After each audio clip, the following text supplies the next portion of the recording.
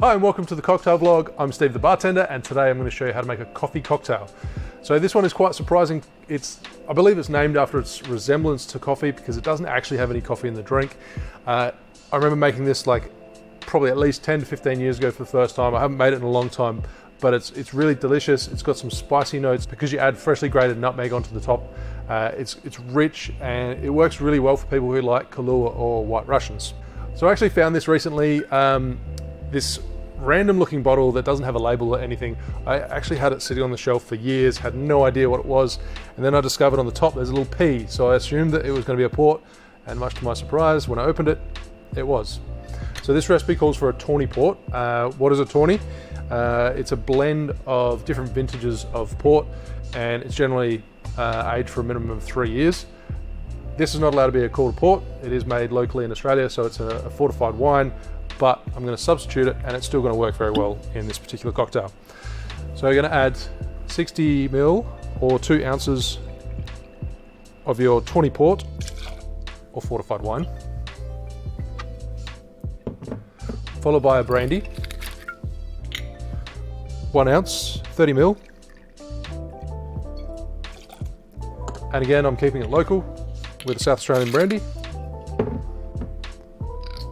followed by half an ounce, 15 ml of one to one simple syrup. And then we're going to use a full egg. So crack that over the top, make sure you don't get any uh, eggshell in your drink. It's actually probably smarter to crack the egg first, but, but hey. So now given that you've got a whole egg, you want to give it a dry shake first.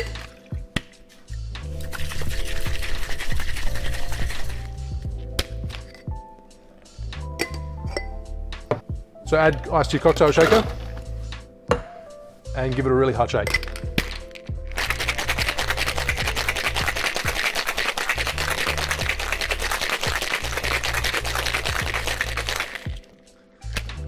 And now strain into your chilled stemmed cocktail glass.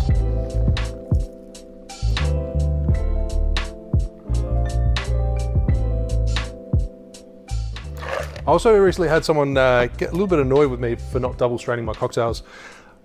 Reason being is whenever I use citrus in my cocktails, I always pre-strain or pre-double strain uh, the like the lemon or the lime juice or the orange juice when I actually squeeze it. So there's no need to, to strain out the pulp.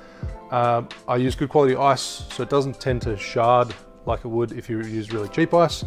Uh, and also the, the, coils on this particular strainer, uh, this one here, it is actually quite tight and you can push it forward a little bit. So there's actually very minimal, if any, uh, ice shards that come through here. So if you want a double strain, go right ahead. I'm making drinks for myself and showing people how to make drinks at home. So if you want to, it's completely up to you. But there you have the, the coffee cocktail. And for garnish, grate some fresh nutmeg over the top. So I'd say rather than looking like, like a latte or a coffee, it probably looks more like a, like the resemblance of like a hot chocolate. A little bit darker, a little bit richer.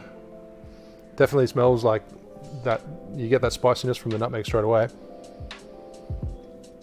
A lot of spice, a little bit of a sweet note to it as well.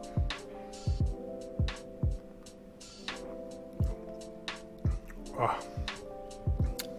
And it tastes incredibly rich. Nice thick texture to it.